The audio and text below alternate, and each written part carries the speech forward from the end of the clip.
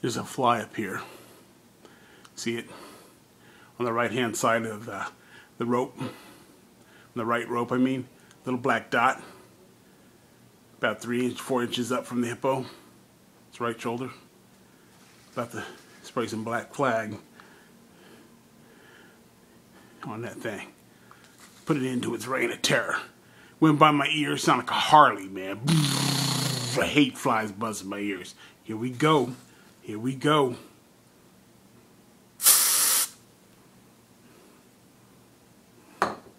Son bitch. What's the matter? Oh, you don't feel so well? What? What? What?